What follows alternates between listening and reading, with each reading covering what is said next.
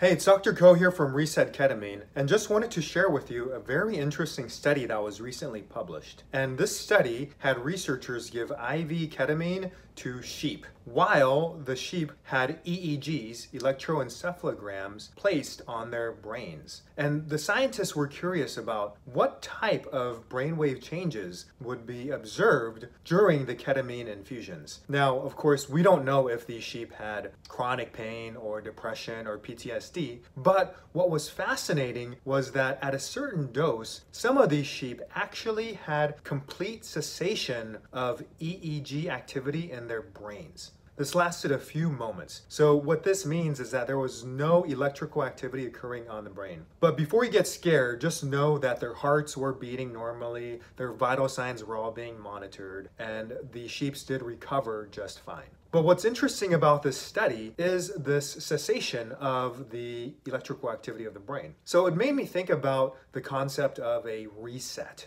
And sometimes when our computers are acting buggy and slow and we have too many windows open, we have to turn it off or reset it. Do a little control alt delete reset action. And when we do this, the computer will reset its processes, will kind of end the old programs that no longer are being actively used. And have you ever noticed sometimes we have that going on within ourselves? We have these old stories, these old habits, these old conditioning that doesn't serve us. So could it be possible that ketamine is actually resetting the brain? And maybe it might not be happening on a global level where the entire brain shuts down, but it is possible that there's, you know, aberrancies in these microcircuitry portions of the brain that are needing to be reset. And so, yeah, maybe ketamine is causing this to happen. Let me know what you think about this if you have any questions or comments, and I will catch you next time.